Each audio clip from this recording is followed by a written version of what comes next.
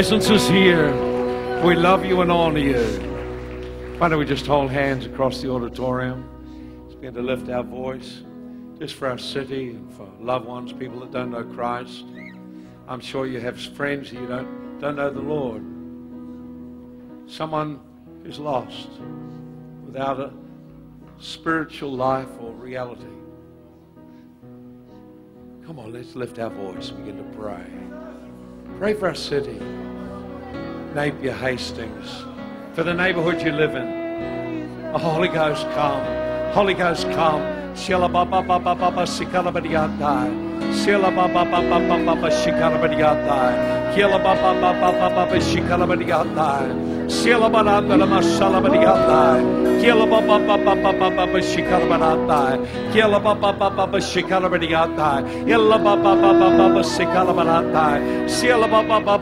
Lord, we lift our voice for our cities. Lord, for the region we're in, we cry for souls. We cry for people to be saved, people to be touched by the Spirit of the living God. We cry for souls, Lord. Souls. We cry for people we know to be saved, to be attracted, to be drawn. We stand and pray, Father, at the throne of grace. By faith, we see them saved today. Very important when you're praying for people not to see the problems or difficulties, but see through the eyes of faith. To see, you know, God spoke to Paul and he hears, I have much people in the city. They weren't saved, but he said, I have much people in the city. So we have people who are in the family of God and those who are about to be in the family of God. Just while we're just worshiping here, I just wonder is there any person here in the meeting today and you're not yet a Christian? I don't know whether you realize what's been happening. We've been worshiping God, and it's been a wonderful joy, and His presence has been here. And then we began to unite our hearts in prayer for you. We weren't just praying for our city, we were praying for you. Because we know someone prayed for us and someone shared with us that Jesus Christ came from heaven to earth, came to represent and reveal what God is like, that God loves people, and that God is concerned that we're separated from Him, like a father's concerned over losing his children. And that Jesus came and He walked among us, and then He died on the cross. He gave up His life to break the power of this invisible spiritual force called sin that leaves our lives so disrupted and such a mess and such turmoil. What you're looking for, that peace you're looking for in your heart, only God can give it to you. Jesus said, My peace I'll give to you. It's not like the world. The world needs an external peace. Jesus said, I'll give you a peace that's inside you. It's the peace of being reconciled with God. Jesus said to everyone who received him, he gave power to become a child of God. So in a moment of time, you could just receive Jesus Christ. What a wonderful thing you came to church today. Someone's been praying for you. Today we were praying for you. All that remains is one more thing, and that is that you make a response to Jesus Christ, that you say yes to Him. You're in the congregation right now, just in this atmosphere of worship, and you want to give your life to Jesus, want to become a Christian, a follower of Jesus is what a Christian is. Not just a person goes to church. So it's a person who follows Jesus. If that's you, I'd love you to raise your hand and let me know. Would you do that? Just raise your hand. Say, I want to become a Christian. I want to be a follower of Jesus. See a couple of hands over there. God bless. Or any others? Any other hands today? Just any other hands? It's a be good time to make this decision to be a follower of Jesus. Anyone else? Maybe you're thinking of it and you're a bit nervous right now. I'd be nervous if I was you too. I wouldn't know what was going on. I didn't know what was going on. I just put my hand up and then God touched me. It was wonderful. Then I figured it out a little bit later what had happened. We've got two people. Is there anyone else? Anyone else want to give their life to Christ? This is what I'd like to do now. The two people put your hands up. I'd like to come over here. I'd love to pray with you. Can I do that? Can I just pray with you? Church, just stay standing. Keep in this atmosphere of worship guys would like to come on over and we'll just pray for you. Just slip out from behind the seat and come over. Stay where you are, everyone. That's right. These couple of guys. Why don't we give them a great clap, shall we? It's fantastic.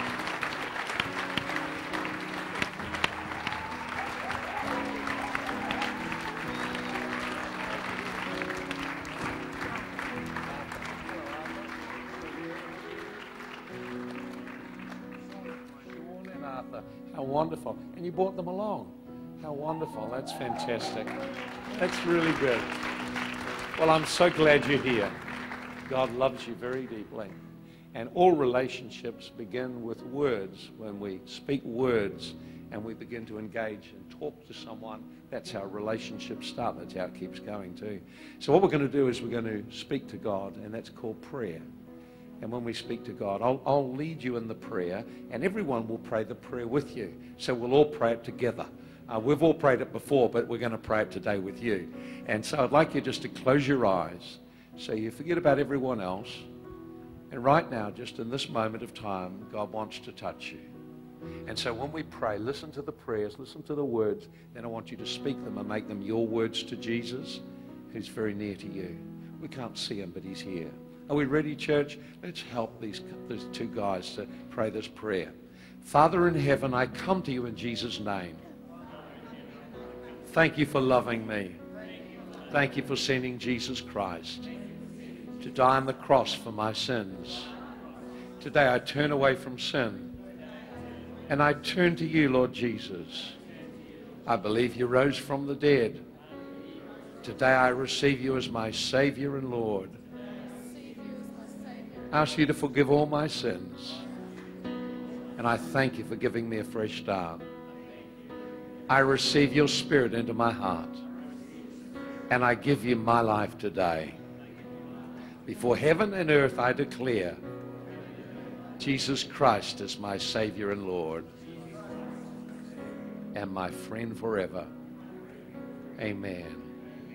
I just thank you, Lord, for just what's happening right now. Touch them. Touch them with your love and your peace. Lord, touch them with your love and your peace today. In Jesus' mighty name. Amen. Let's give them a great big welcome to the family of God, shall we?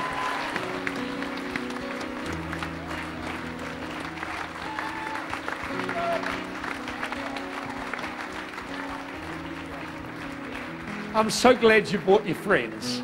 That's fantastic. You keep bringing your friends. Okay, then well, someone behind you is going to just give you a little gift. And uh, church, let's go and talk to someone, say hello to someone. Just one minute, let's go around and talk to people.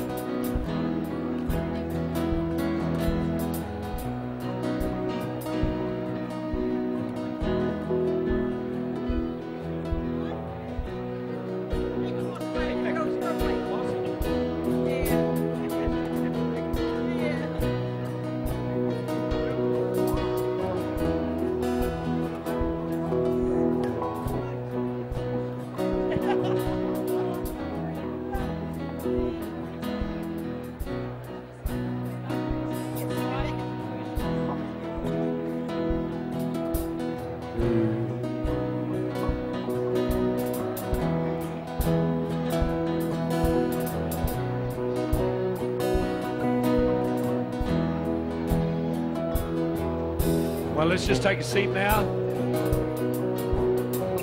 Find our way back to our seats.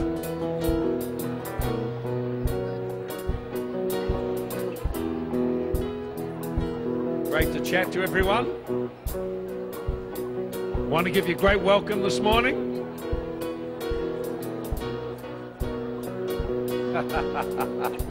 Everyone wants to talk. Well, that's good news.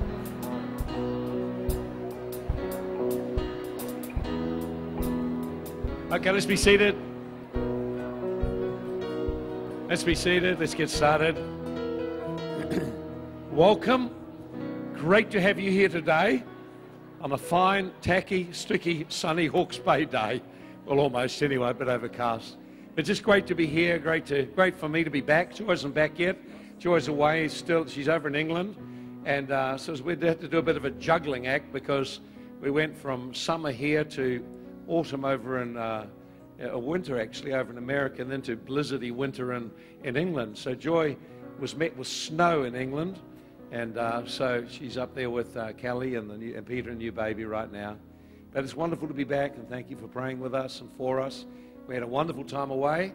Just uh, had seven day cruise. Went down to uh, New Mexico, visited places there, and went out and touched whales and got that close to them we could just reach over the side of the ship, uh, the boats. It's amazing.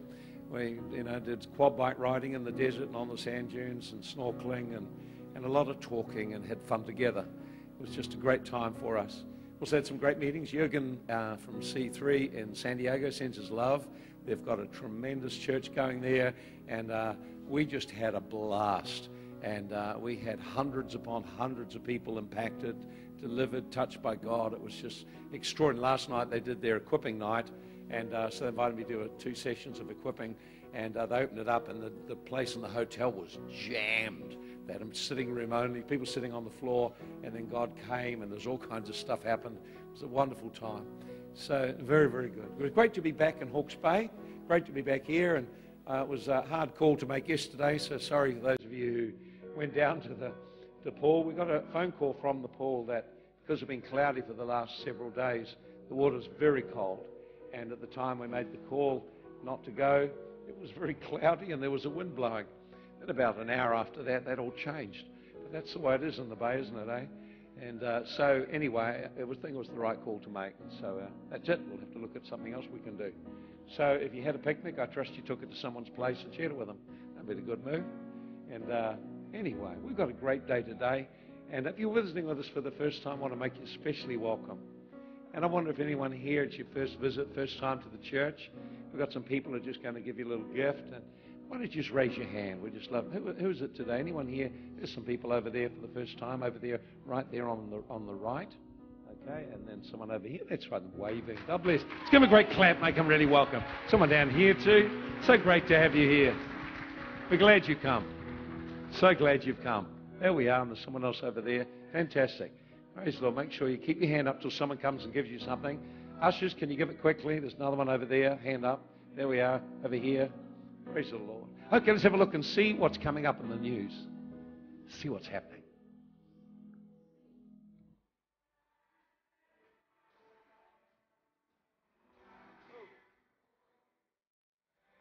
Hey Bay City, it's getting busy in the house. We have our impact groups starting up again from the 7th of February. These groups are a way to get connected and there are so many to choose from, so have a look at the group list today. Equipping Track starts again for term 1 on the 8th of February. This is your pathway to membership here at Bay City, so contact the office for more information. Prophetic Intercessors is back on the 14th of February. You are all welcome to come pray in the harvest for 2012. Boost, And all you men out there, keep watching. These are for you.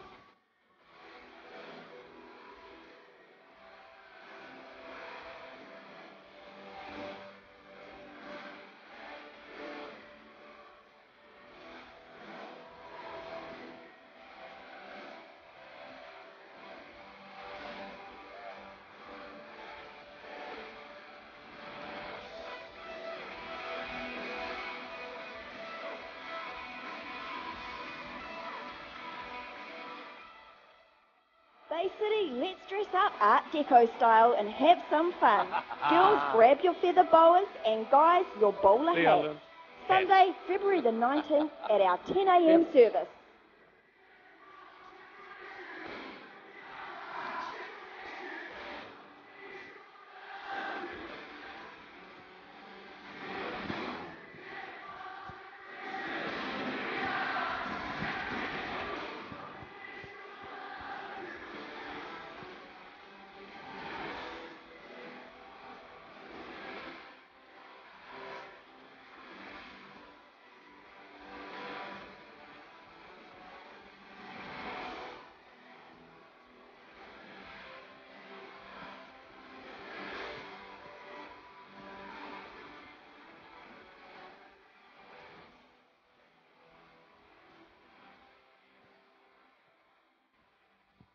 Guest speaker Wesley Campbell is here next Sunday. His teaching on praying the Bible will inspire you. He will be sharing at both our services and is not to be missed.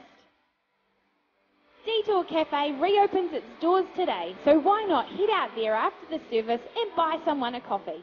Also, if you are new to Bay City or are visiting for the first or second time, you are most welcome to join our Bay Vision lunch after this morning's service, where you will find out more about this exciting church. And just a reminder that our 6 p.m. service starts back tonight. Woohoo!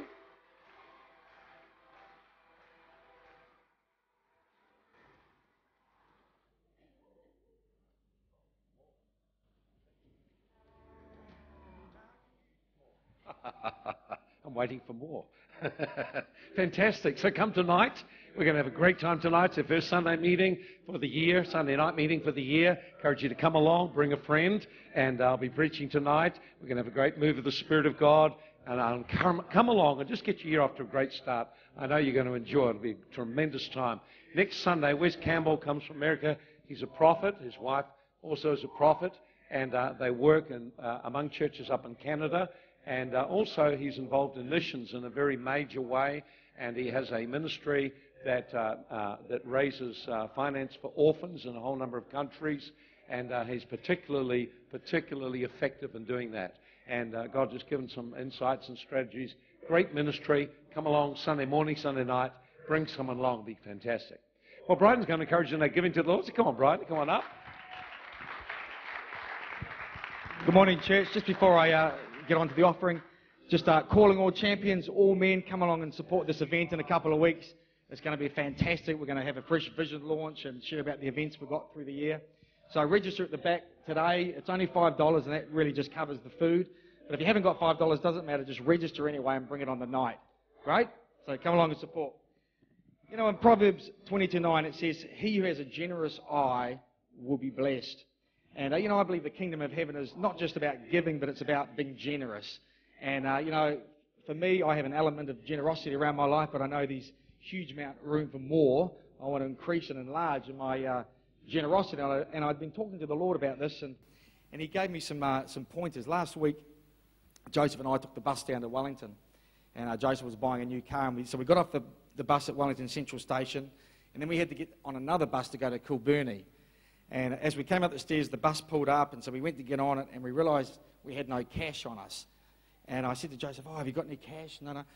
And, and this guy, he was kind of an oddball kind of guy, didn't look like he had a lot of money, a different type looking guy. He kind of turned around immediately started opening his wallet to, to give me some money. And I said, Oh, no, it's all right. I'll, we'll, we'll, have to, we'll find an ATM machine. And then I thought, oh, I wonder if the bus takes the, the EFTPOS card.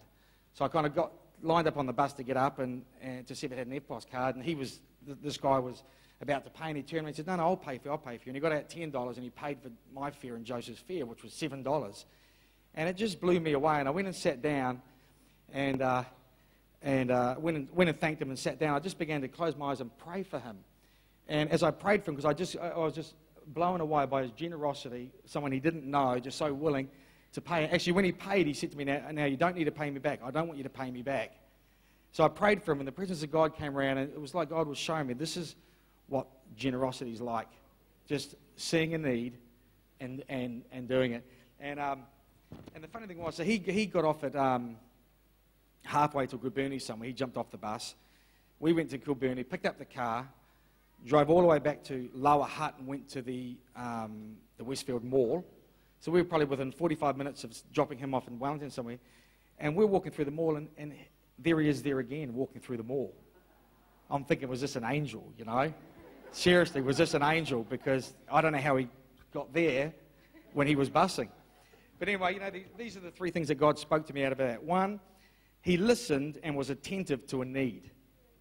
Second thing was he responded immediately and gave generously to the need. And the third thing was he gave without wanting anything back. And that really touched me. It really touched me. God spoke to me about that and just given me some keys of how I can be generous. Amen.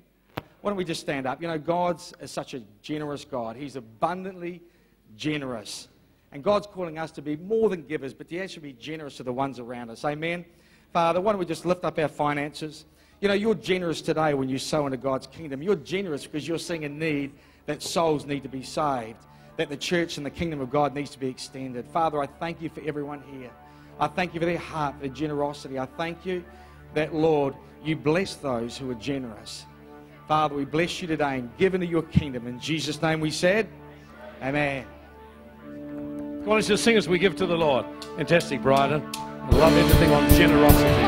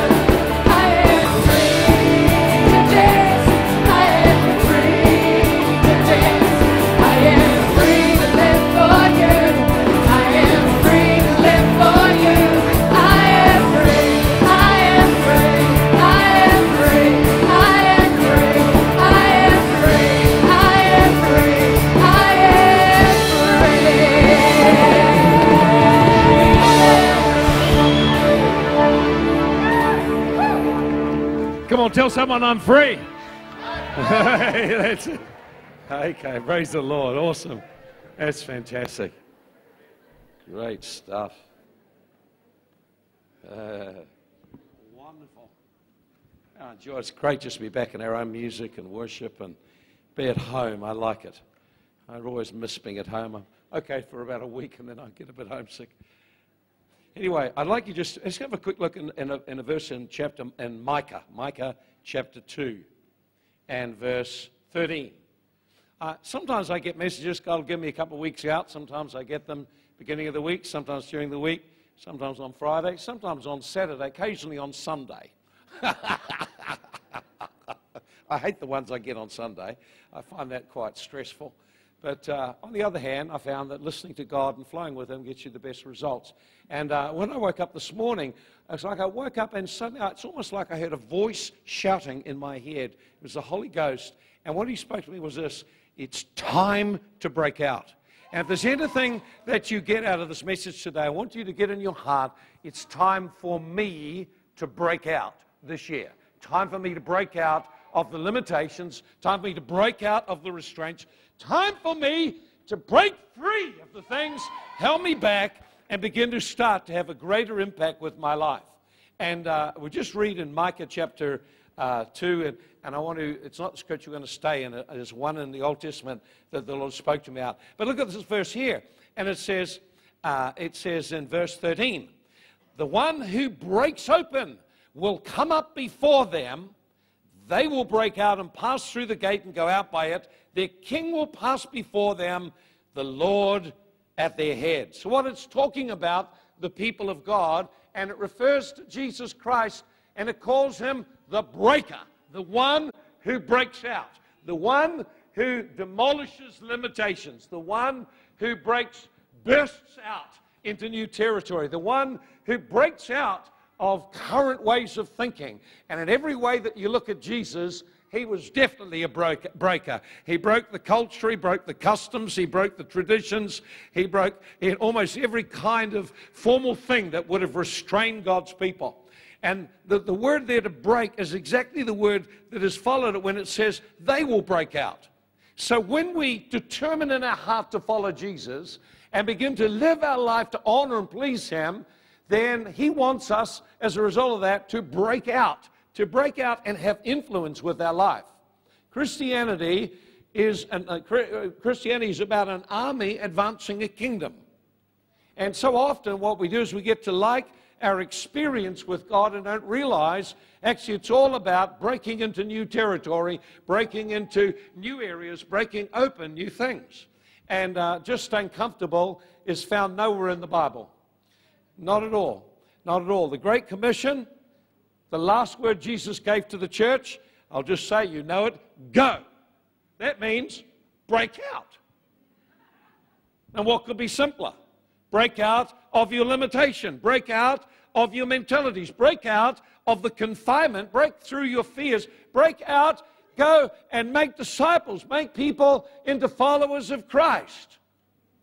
So that is what Jesus commanded the church. He commanded the church to break out and invade new territory. And like all churches, it didn't respond so, so quickly. Let's have a look quickly in Acts chapter 1. I want you to have a look about the baptism in the Holy Ghost. Baptism in the Holy Ghost, wonderful. If you're not baptized in the Spirit speaking tongues. It's a great experience. It's an essential experience to live in the Spirit. But notice what it's for. So Jesus told them, I want you to wait until the Holy Ghost be poured out. So what he says here in verse 8, you shall receive power when the Holy Ghost comes upon you. Then you shall have meetings where you'll laugh and fall over, and great things will happen. You'll see visions, have dreams, see angels, You'll be so impressed with the angels if all these things happening. That's what will happen. Well, he didn't mention that but That's just the side bit that happens, actually, as a result of understanding what baptism in the Spirit's about. Baptism in the Spirit is a gateway experience into the realm of the Spirit and the supernatural that is accompanied by the mission or the purpose of God being performed. In other words, you shall be witnesses unto me. So the outcome of being filled with the Spirit, having great meetings, being touched by God, is that your life becomes a clear witness of the reality of Jesus Christ. To become a clear witness of that reality, we've got to live in freedom and we need to express that life. I think that guy that uh, came up to Bryden and just uh, offered to pay when they were short of money, that to me is a very practical expression of it. Something of just generosity to a complete and utter stranger. So the New Testament church broke out eventually on the day of Pentecost. Of course, there was a breakout, 3,000 people say. What you've got to realize is this is the very city in which the founder of Christianity was murdered, was hung on a cross. What an amazing thing to start a church where your founder was murdered. Of all the places you wouldn't want to start, would be, that's the one you wouldn't want to start.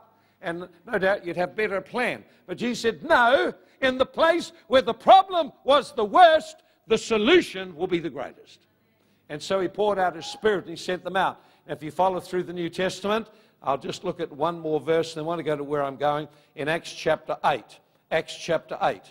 And you'll see them breaking out. Now, they didn't break out easily. Jerusalem was a very religious city. And the people who lived in it took on the culture of their day, and they were also reasonably religious. So, although there was an outburst of the Holy Spirit, religious confinement or tradition meant they didn't actually do what Jesus said. Notice what he said You receive power from on high, and you be witnesses to me in Jerusalem. Uh, he added more, you know, and in Judea and Samaria and the utmost parts of the earth.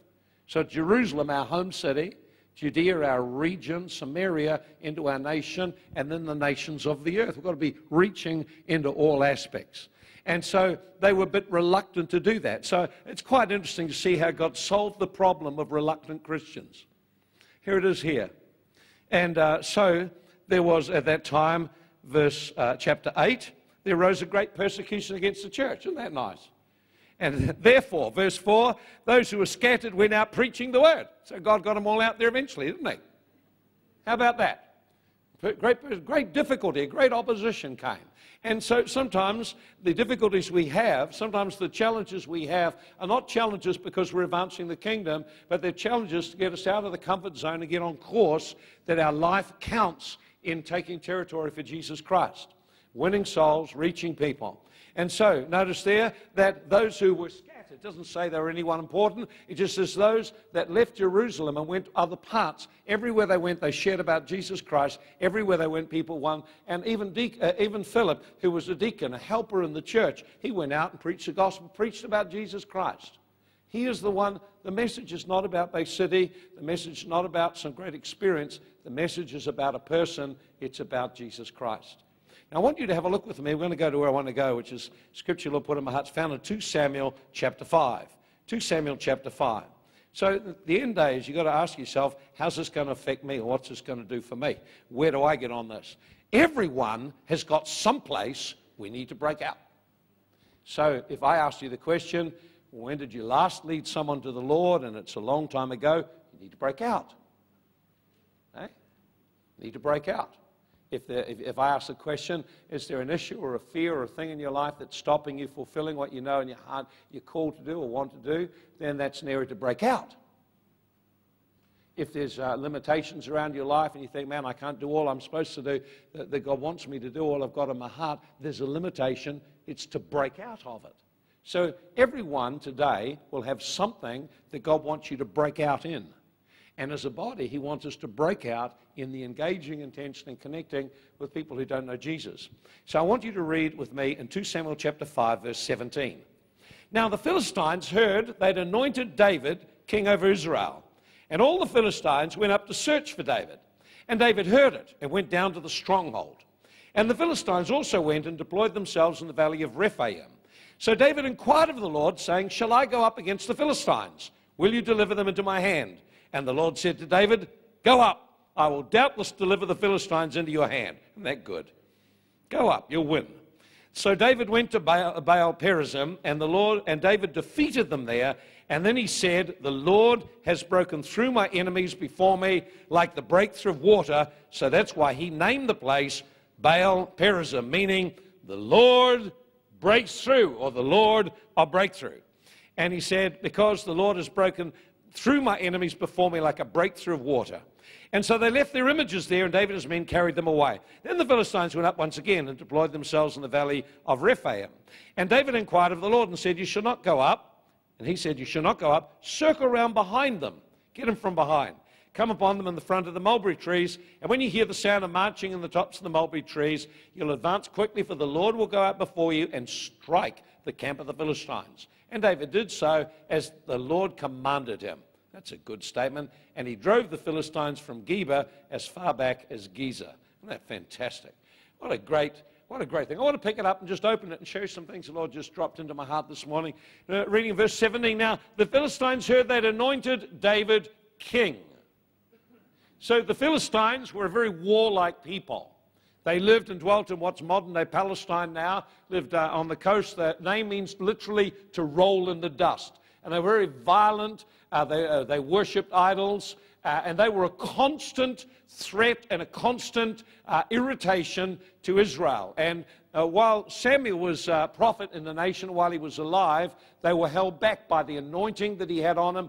Once Samuel had died, the Philistines began to invade the nation, taking city after city, until the nation became deeply oppressed and impoverished because of the Philistines. Now understand, then the Philistines heard of David being anointed. Now they hadn't heard that before. They didn't know about that before. Now they heard he's anointed king. Anointing is to empower you to do something. Every believer is anointed by the Holy Ghost. Every believer is given an anointing, a baptism in the Holy Spirit, an initial experience, but it's an empowerment experience. David was anointed. When God anoints you, his anointing is for a purpose. The big mistake is to look for experiences and separate your experiences from the purpose. I love experiences. I can't get enough of them. But if I separate experiences from the purpose of God, then the experiences become a deception, they become a trap, and we become irrelevant to the purpose of God. It doesn't matter how great the experience is, it is to lead from, it leads you nearer to the Lord so you'll bring people nearer to Him. And so uh, your anointing, God anoints us for a purpose. When the Holy Ghost was poured out, we read in Acts 1 8, it was for a purpose that we would make Jesus known. Second thing you notice there is it says, in that verse, it says, they heard that David had been anointed king. Kings, notice, it didn't say he was not a prophet or a priest or anything like that. He was anointed a king. This is what upset them, that he was anointed to be a king. Here's the next thing kings have dominion. Kings have a territory they rule over. God anointed David king because he had a purpose for Israel to advance it and to establish his kingdom in the earth. When you get anointed by the Holy Ghost, it's because God has in mind that you would, as a representative of heaven, advance his kingdom. How much did the kingdom advance last year because of your efforts? What advances were made, either at a personal level or in the realm of influencing others. Ask the question. So David was anointed king.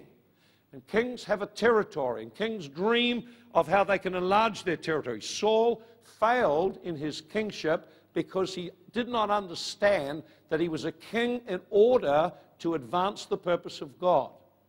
The moment he stopped advancing the purpose of God and just enjoyed the status he had, that's when he lost the plot and lost his kingship.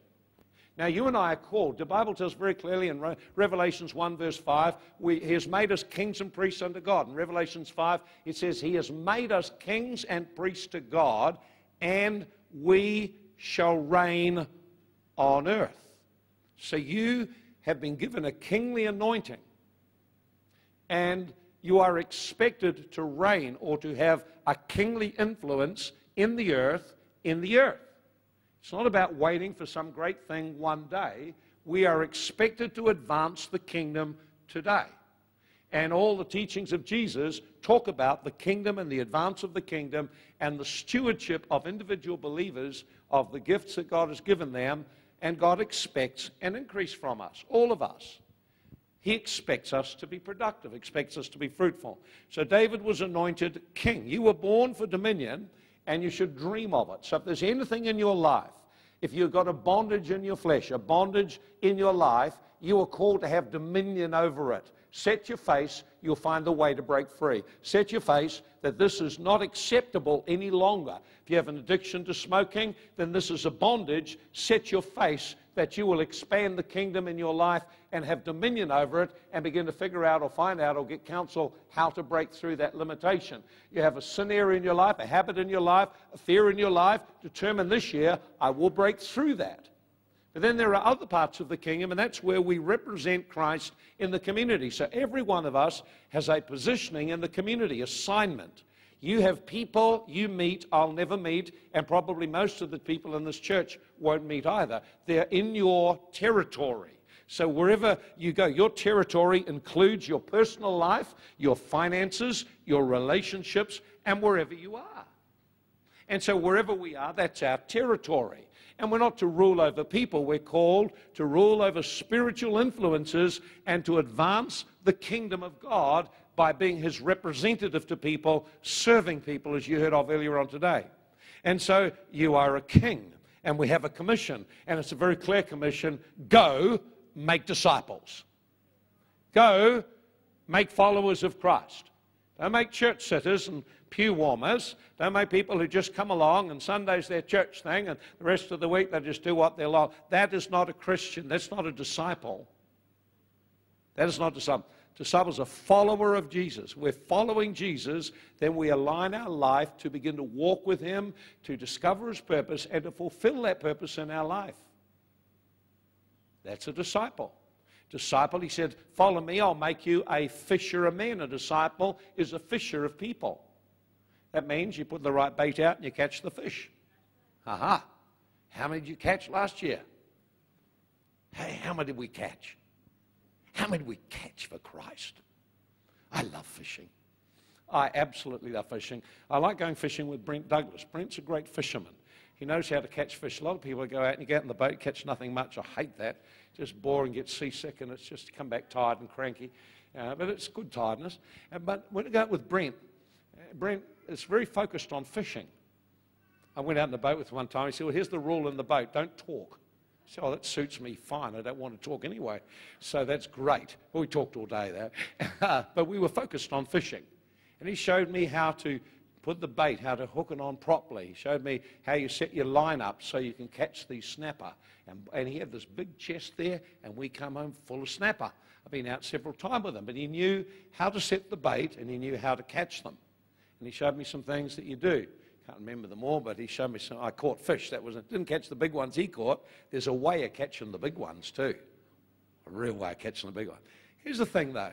You have to go where the fish are and you have to lay out something that will draw and attract them. And then at the right time, you hook them. If you don't have the right bait, you don't get any fish. If you don't go to where the fish are. And he would move this boat around all over the place till he got it exactly where the fish were. Since no fishing anywhere else. The only place you'll catch them is where they are. Make sense? See? So, so the fish you'll catch this year aren't here. They're there. Think about that one. So that means you need to turn up there with an intention of fishing. And you don't always catch fish. And uh, sometimes you get a bit disappointed, but if the fish are biting, you catch them. And so you've got to have the right bait, you've got to have the right way of hooking them. There's, there's a bit of skill in it. And through the year, I'd love if we can begin to start to set our heart that we can begin to lift our game plan and vision that we'd see people saved for Christ. Individually, right across the church. One person.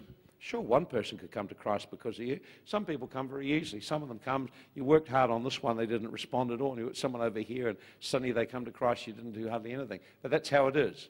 You do that. So there it is. So, so there's no, now here's the other thing then, is there's no advance of the kingdom without resistance. The third thing, no advance of the kingdom without resistance. So when David was anointed king and planned to advance the kingdom, first thing the Philistines did when they heard about it was get up and jump up and go kill him. They wanted to kill him when you set out, if you just want to just sort of be a casual Christian, you'll have to live your life below what God wanted. We're called to be productive and fruitful. That's fantastic. So here's the thing that the moment you step up and decide, I'm going to break out of this limitation, break out of this bondage, break into enlargement, you will encounter resistance and difficulties. If your prayer life is slack and you say, I'm going to really work on my prayer life in the next two, three weeks, get myself back into shape, you'll find resistance. Uh, if you decide you're going to break out of some bondage, there will be resistance. The demonic realm notices people who are intent on a mission. Every time I ever go overseas, I always have something happen. Before I go, while I'm there, and when I come back. And uh, it's always the same. And I've just learned to shrug it off as being part of the resistance that comes. So before and after this trip, I had things happen. And I, have learned to just shrug them off. Just, what's that? Just nothing. Keep on course. And we were away, we had lots of things happen, but funny things happen. You had a guy manifest in the room next door. I haven't had that for a while. He was groaning and moaning and yelling for, for about half an hour, I suppose. And then we had the power just go out on us. We had a whole lot of little things like that happen. We had a great, it's just nothing. It's just little stuff, little stuff. Yeah? So you've got to learn to just hang in there. So, so, the, the, so the Philistines go up, and their one thing in mind is kill him. Take away, kill him means take away the life. So the devil wants to take away liberty, freedom, and life from you so you're bored and passive and dull without fire for God.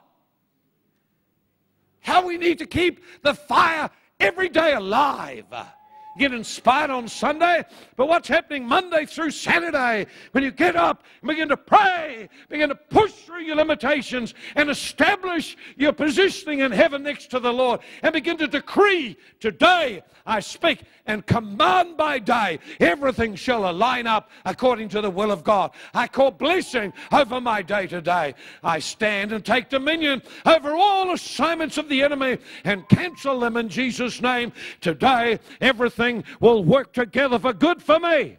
You've got to learn to get assertive and get up and start the day in prayer and make decrees and declarations of the Word of God. Your life will be in alignment with the Lord. And demons, before they even come to you, you're on them, all over them. That's the spirit of David, eh?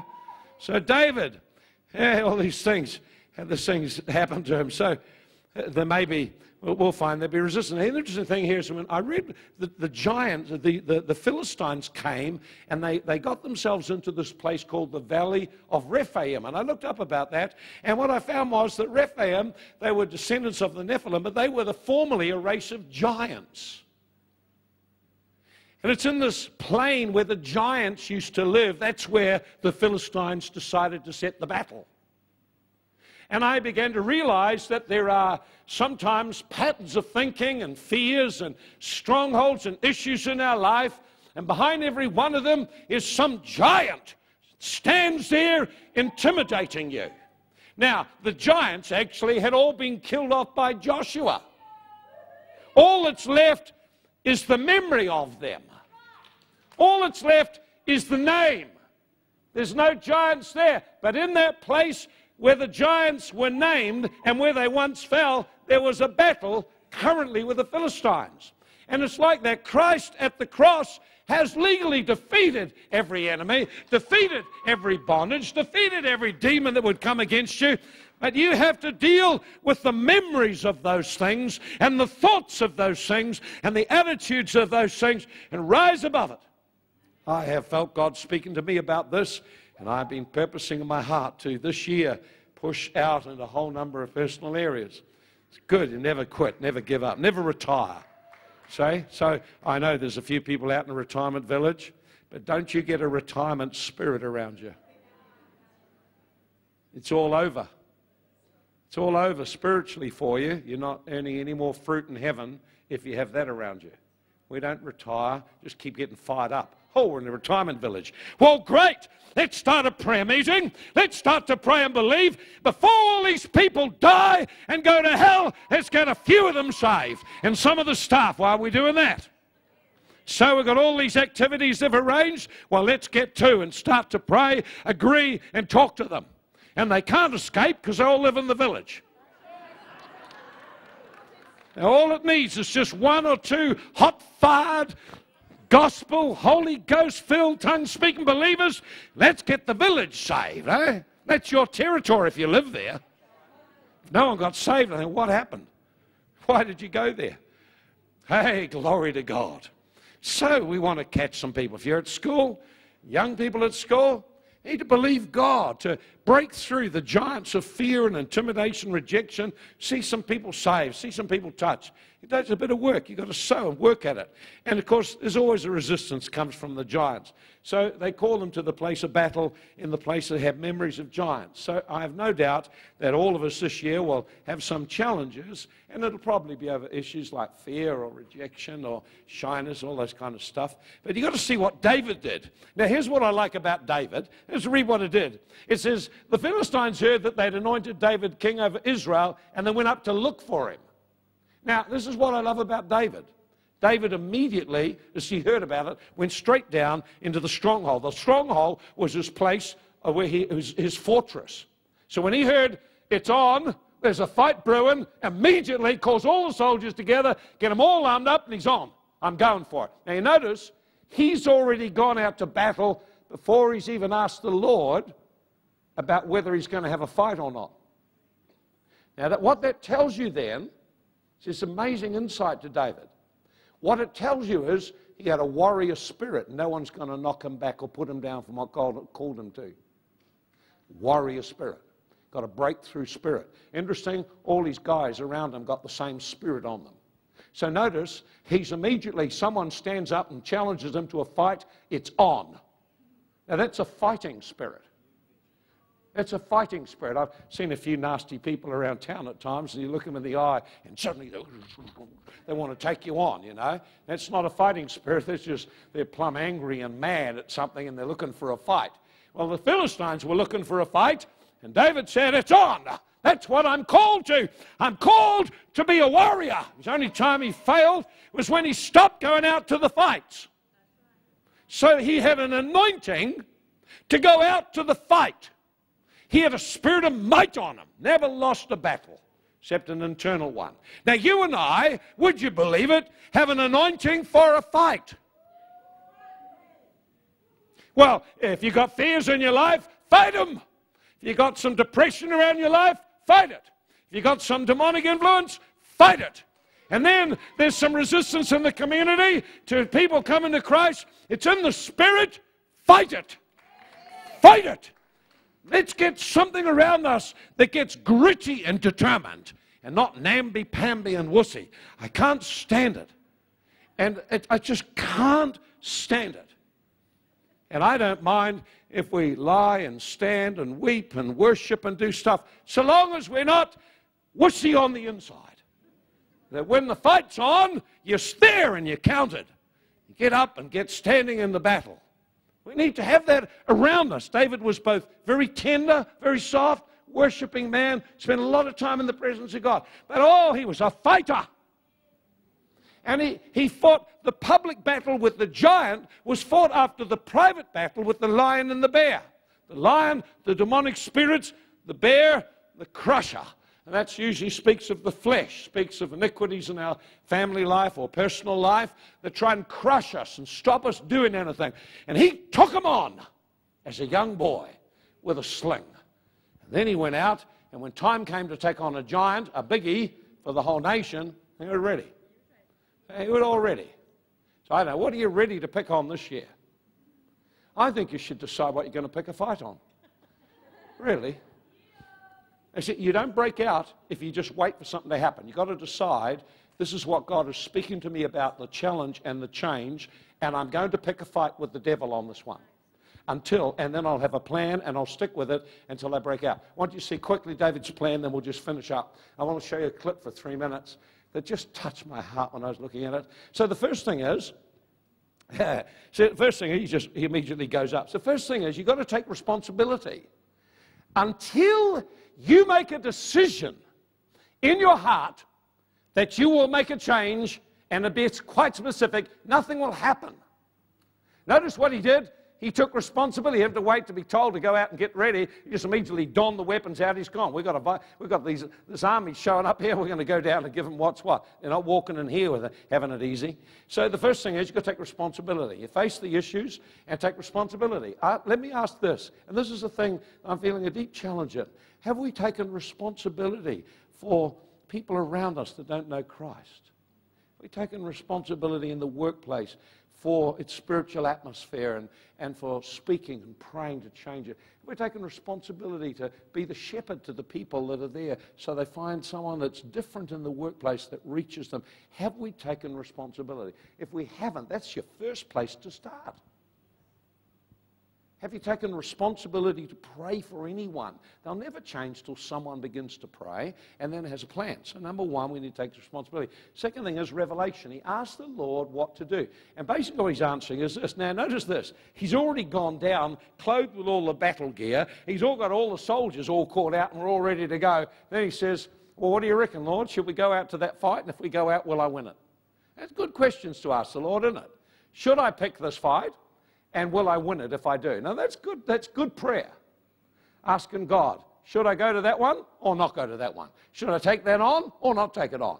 See, notice, although he's got a warrior spirit, he's also sensitive to the Holy Ghost leading. He listens to God, he inquires of God, he gets revelation.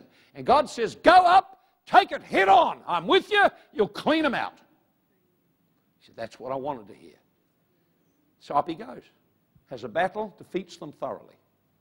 So, number one, we need to take responsibility. Number two, we need to get revelation. We need to get insights on what to do and where to go. So, you don't go big headed and take on everything. You've got to take on what God gave you.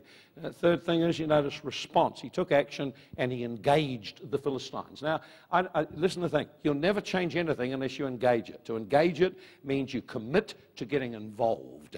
We have to engage with people if we're going to help them change. We have to engage the issues in our life if they're going to shift. If you're happy to live with them, great. That's fine for you. Good on you. Well for you. But me, I want to move on in my life. I've decided I'm going to push against some things. So, so we need to make a response.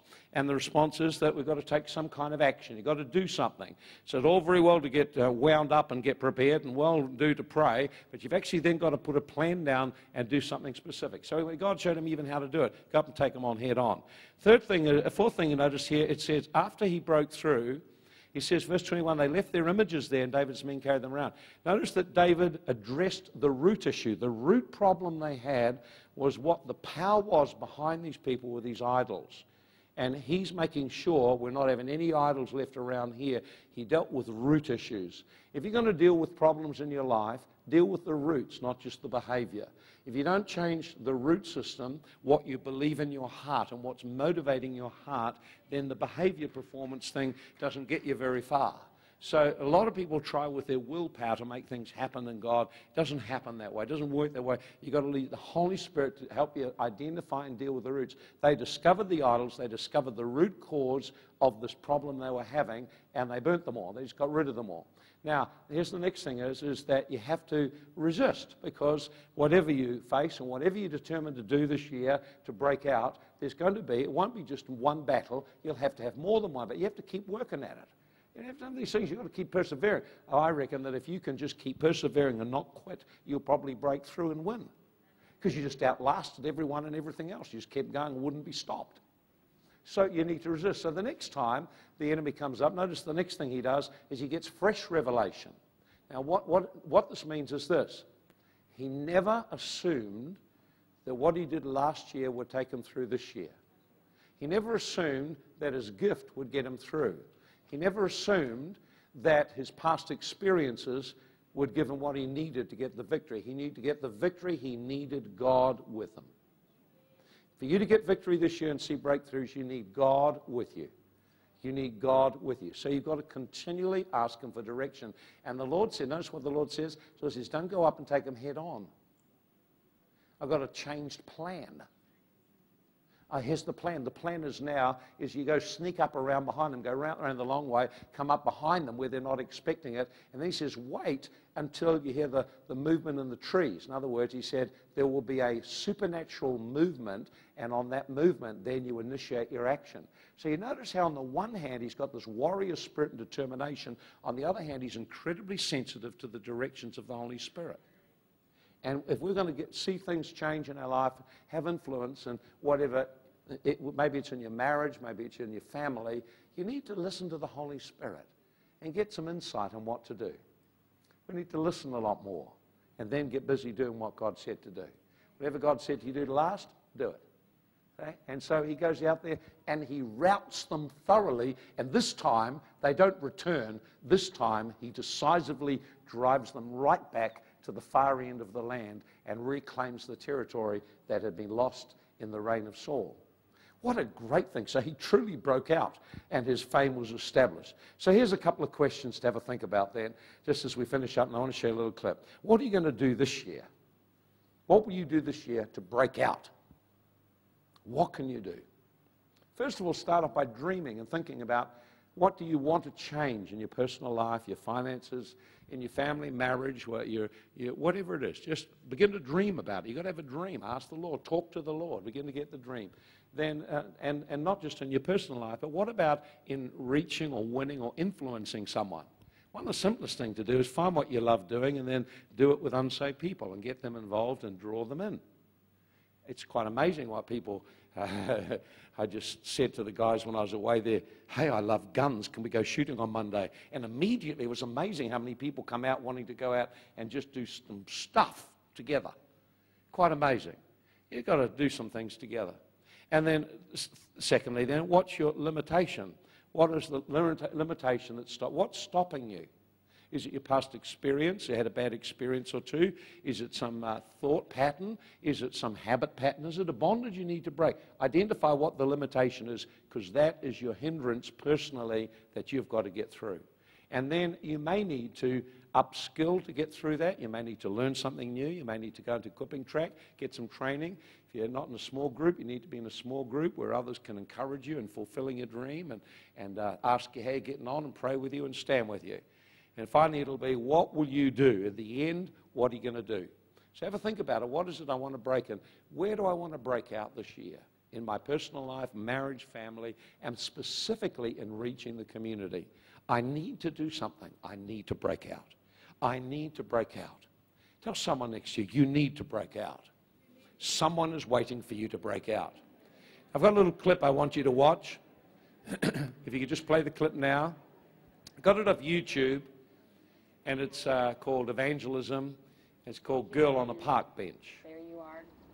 Just have a look at this. Here I am, desperate for love, for truth. What are you going to do when you leave this building?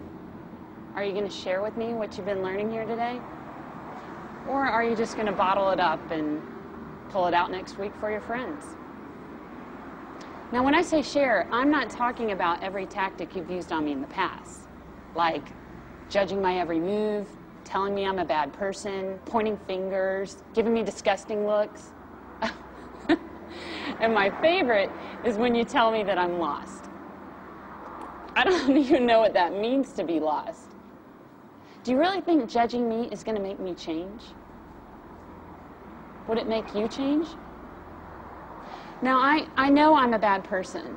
I've, I've done bad things, but I don't need you to tell me that. What I need is for you to pick me up when I fall down, to be there when I'm broken. Yes, there's, there's something missing in me. There's a void in my heart that I don't know how to fill. You have it. You have that thing that makes you whole. You know that person that I need to know. So I'm watching your every move.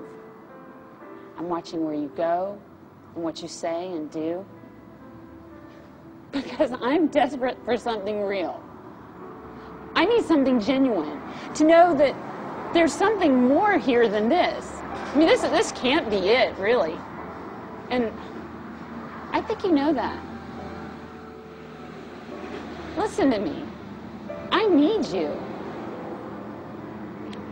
I need you to be here for me. I need you to walk out right now, ready and willing to do whatever it takes. It's, it may not be comfortable.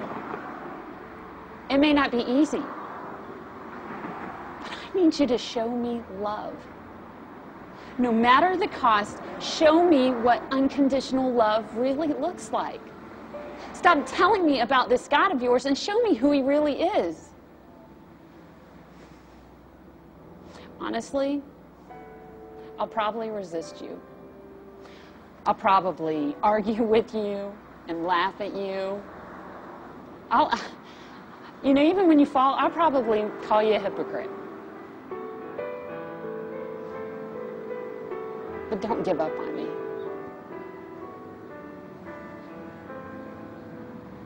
Please don't give up on me. So I'm going to ask you when's it going to happen? Just close their eyes. Very powerful clip. Don't give up on me. What will you do? Just listen to the Lord for just a moment, what He's saying that you need to do, that we need to do. It starts with just that one thing.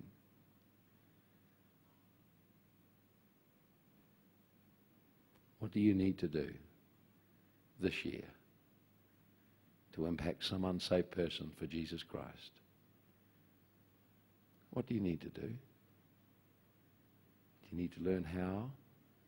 Do you need to break out of limitation of current relationships? Do you need new skills? Do you need. What do you need? What, what do you need to do?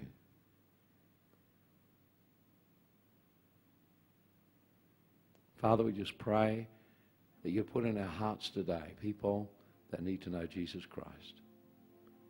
That, Lord, we not walk out and just forget what we've learned.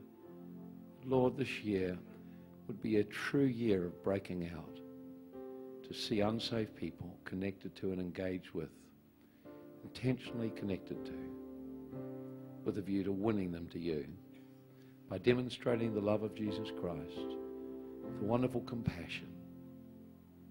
We may not see a leper, but we can see someone who's really full of shame, defiled by what they've been involved in, that needs your help. We may not see a cripple, but we'll see people whose minds and emotions are crippled by the experiences they've been through. Why don't you just now, just as we finish up, I don't want to finish up just with a big song or anything. I'd like just to pray with someone next to you that they will fulfill what God's spoken to their heart. They will truly break out and impact someone's life for Christ. Would you do that? Just find someone near to you and pray if you can move in a prophetic word, move in a prophetic word. Just pray and let's believe for God to touch someone's heart.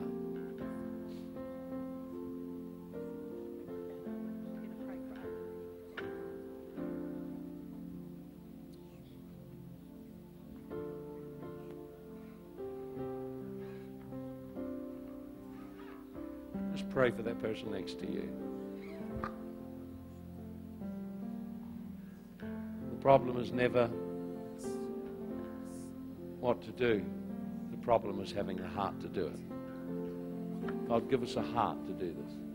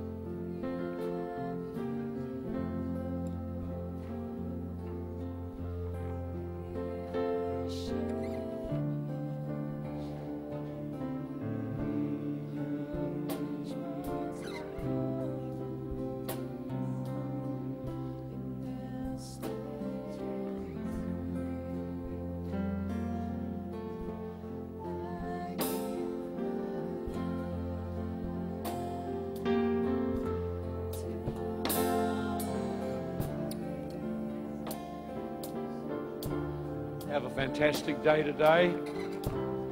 Hope to see many of you back tonight. And let's believe for God to touch lives, touch hearts. And to get with someone and take them out for coffee or go somewhere together and reach out to some people, friends some people. Owen, we'd like to pray with you today. Owen's going to uh, Indonesia and Singapore and going up to preach the gospel for a month. So we want to lay hands on him and just see God bless him in his work. Don't forget to pray for Pastor Dave. He's up in Pakistan right now. Big challenges up there. So just continue to pray for him. He'll be nearly a month away. Those of you who know Sue Seeger, don't forget to go and say hello to her. She's back for a week's holiday from Australia. Thank you, musicians. What a great job. Thank you, sound. Thank you, lighting man. Thank you, technicians and AV. Appreciate your work.